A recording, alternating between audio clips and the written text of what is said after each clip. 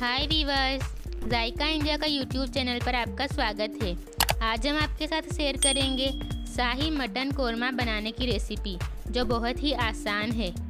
तो चलिए शुरू करते हैं।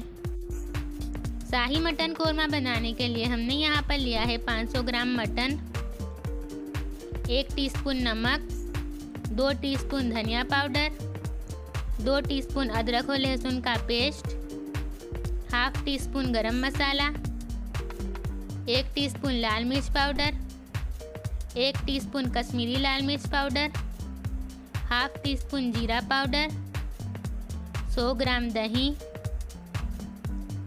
तीन मीडियम साइज़ की फ्राई की हुई प्याज और खड़े मसालों में हमने ली है तीन छोटी इलायची, एक बड़ी इलायची, पाँच लौंग, एक जावत्री का फूल और एक दालचीनी।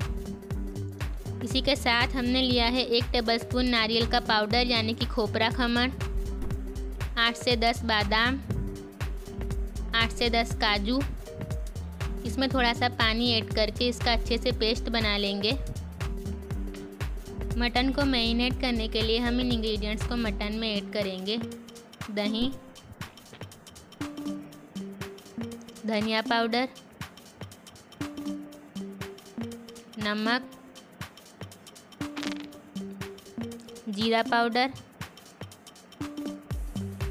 कश्मीरी लाल मिर्च पाउडर, लाल मिर्च पाउडर, गरम मसाला, अदरक और लहसुन का पेस्ट।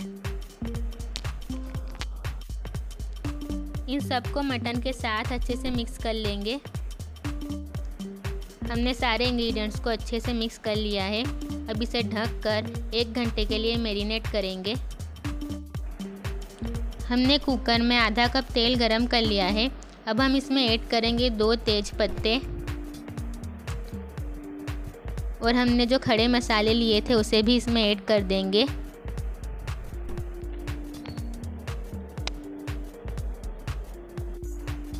कुछ सेकंड बाद हम इसमें ऐड करेंगे मैरिनेट किया हुआ मटन। गैस की फ्लेम को मीडियम कर देंगे।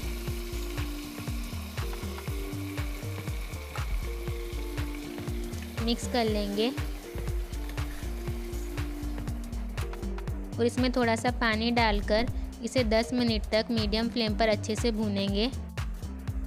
यहाँ पर मटन को भूनते हुए 10 मिनट हो चुकी है। हमने जो फ्राई की हुई प्याज ली थी, उसे मिक्सी में दरदरा पीस लिया है। इसे हम इसमें ऐड कर देंगे।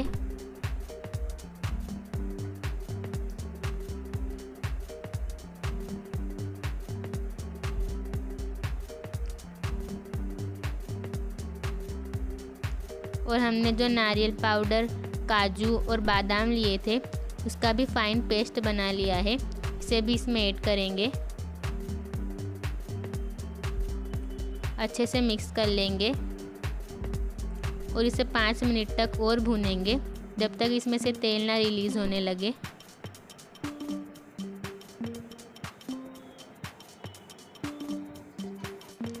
इसमें से तेल रिलीज़ होने लगा है। अब इसमें एक चौथाई कप पानी ऐड करेंगे। मिक्स कर लेंगे।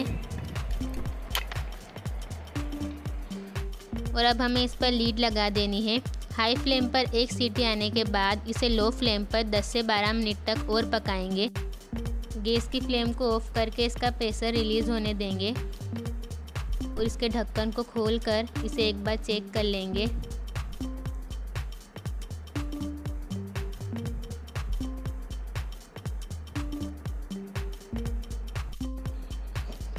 अब गैस की फ्लेम को हाई करके इसमें ग्रेवी के लिए ऐड करेंगे एक कप पानी।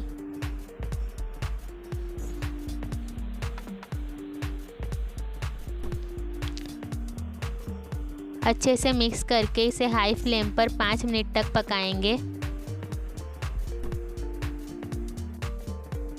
पानी ऐड करने के बाद हमने इसे हाई फ्लेम पर पाँच मिनट तक पका लिया है। ये देखिए, हमारा शाही मटन कोरमा बनकर बिल्कुल तैयार है। अब गैस की फ्लेम को ऑफ़ करके इसे डिस आउट कर लेंगे। खाने के लिए तैयार है शाही मटन कोरमा। देखा आपने, इसे बनाना कितना आसान है। अगर आपको हमारी वीडियो अच्छी लगी तो इसे लाइक और शेयर करें और कमेंट में हमें ज़रूर बताएँ कि ये रेसिपी आपको कैसी लगी और हमारे चैनल को सब्सक्राइब करके बेल आइकन दबाना ना भूलें।